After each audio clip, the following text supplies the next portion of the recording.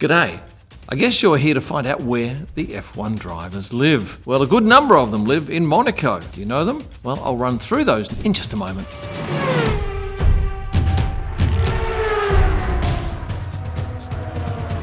First up, Lewis Hamilton. Does he live in Monaco? Yes. Well, for some of the year anyway, not all of the year, because obviously they travel quite a bit. He has a multi million dollar home in Monaco, plus homes all around the world. So, what is the attraction to live in Monaco? Yeah, low tax. Everyone knows that. Straight up, there's no personal income tax. So, if you're earning $30 million a year as an F1 driver, the government of Monaco takes none of that. Now, if you live in England or in France or in most Western countries, the government is going to be taking a significant proportion, certainly 40% or more on the majority of your income. So, how big is Monaco? Well, it's just two square kilometres. It has the world's shortest coastline, 3.8 kilometres, and the width of the country ranges from a measly 350 metres to a whopping 1.7 kilometres. It's a very small place.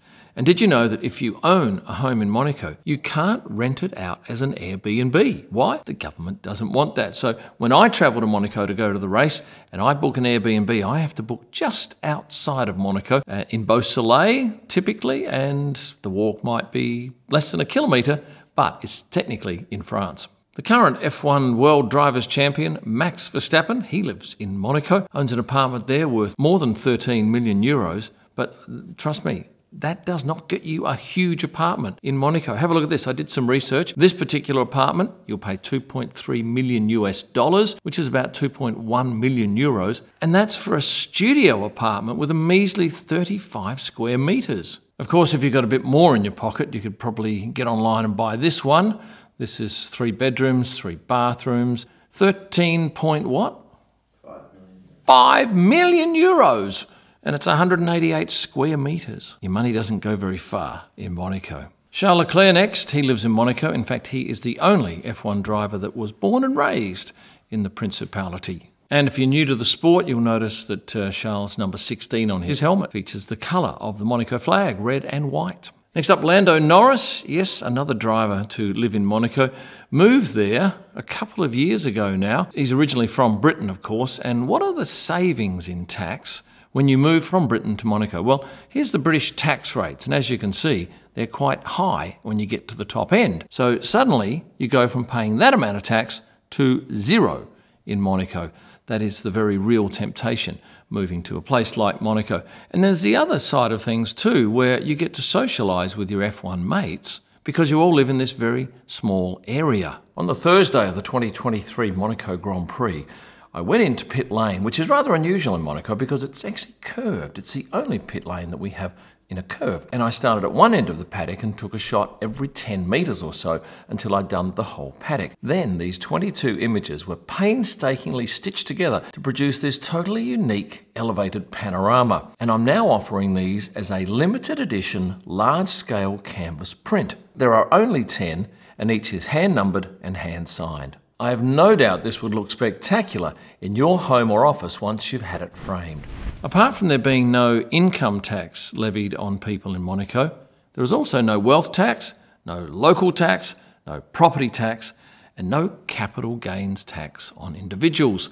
So if you buy your apartment for 13 million euros and you sell it for 20, the whole profit goes into your pocket without any government taking a share. Valtteri Bottas is from Finland. He has a lake house in Finland, but also is registered to live in Monaco and does spend a number of days a year there, uh, as he does in Australia, because his girlfriend is Australian, quite likes it. Tended to spend a fair bit of time last summer in the southern states of Australia. I was going to say something about that. Hello. How's your day? Very good. Um, now, at the moment, I'm recording a video, but go ahead, you're on the video. It's a scammer. She's got all shy. Oh, she hung up. Scammers. So, can anyone just go and live in Monaco? No. Uh, no, you need to be quite wealthy. You have to have a half a million euros that you're happy to put into an account and leave there. Although, if you want to start a company at a later date, you can use some or all of those funds for that. So, in general, uh, it's the very wealthy that live in Monaco, and some 33% of the 36,000 or so residents of Monaco are millionaires. I would have thought more than that. The Monaco government is indeed acutely aware that they have a lot of high profile and very wealthy people living in their country, and because of that, the government requires written permission for all professional photography, which minimises the paparazzi pestering their millionaires. Oh, and another interesting thing about Monaco is they're quite uh, overbearing when it comes to video. I'll tell you, a couple of times I've been shooting simple stuff around the casino, just me talking about the area. And boy, the police come over and um, say, no, you can't video there. I'd already videoed, but anyway, I had to stop videoing. Mm, I don't know why they're so worried about that, but it is definitely a thing. German driver Nico Hulkenberg lives in Monaco with his wife, Egle, and daughter Noemi, and dog Zeus. They live in an apartment there, have done for a number of years, and they're not too far from Daniel Ricciardo, Australian driver He's had an apartment in Monaco for a number of years now. He also has quite a magnificent and sprawling mansion in Los Angeles and a farm not an hour's drive from where I'm sitting right now, here in Lancelin in Western Australia. And the eighth and final driver that calls Monaco their home is Alex Albon. So there you have eight drivers that all live in Monaco.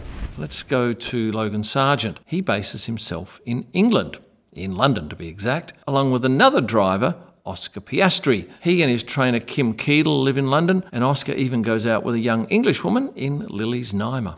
Oh, and I should not forget Chinese driver Zhou Guanyu, who lives in London as well. Next up, Mexican driver Sergio Perez, who lives in Guadalajara. Well, not all year, because during the European season, he resides in Madrid to be closer to those European races and the factory.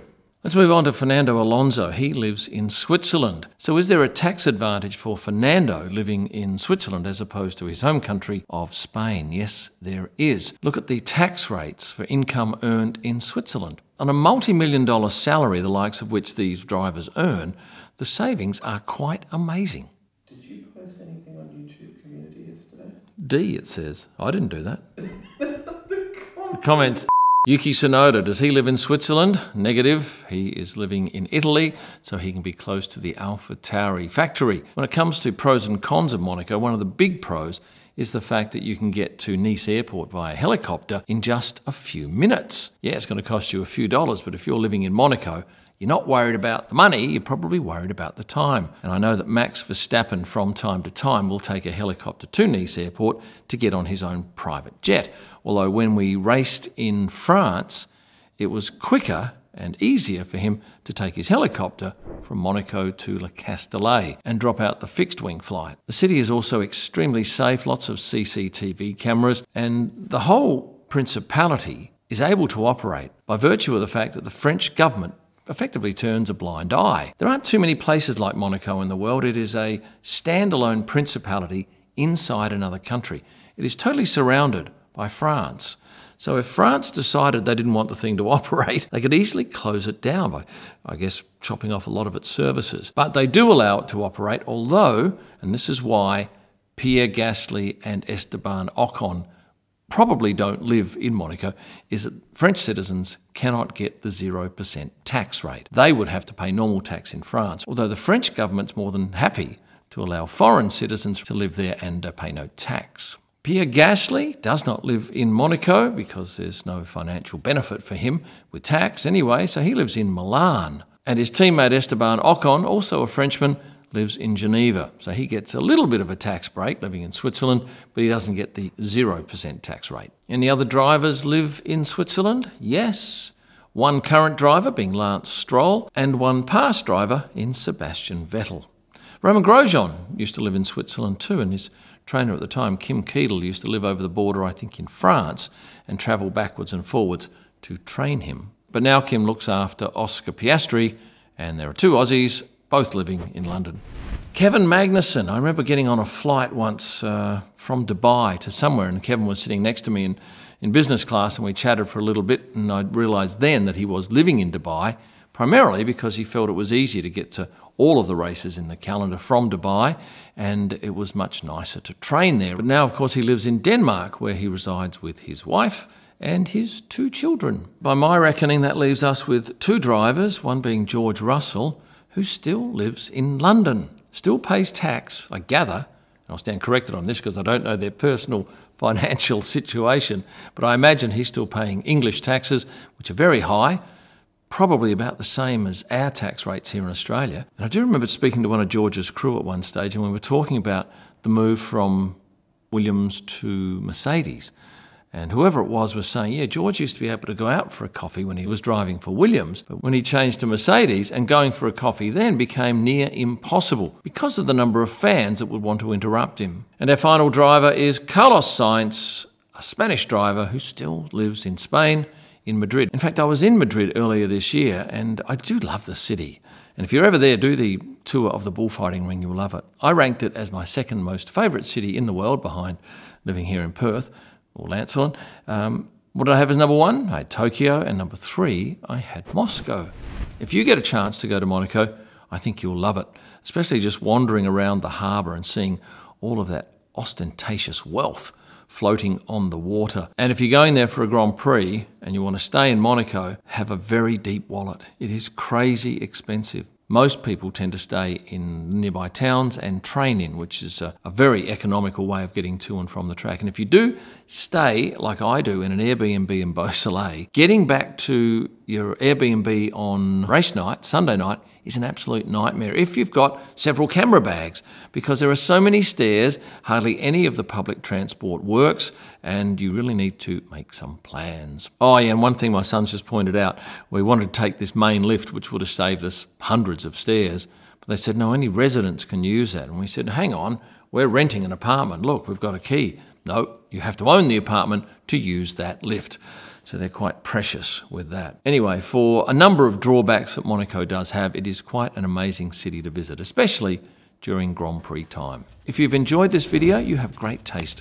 And please subscribe, like the video, and become a member. For all of my digital images, go to prostarpics.com. For my F1 photo books, merchandise, wall art, and signed prints by the likes of Jackie Stewart right here, head to kymillman.com. And for my best images live from the track and during the week, you'll find them on Instagram by searching my name at Kym Illman.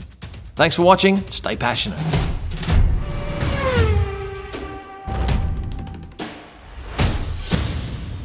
In eight seconds' time, I'll have a. Um, start again.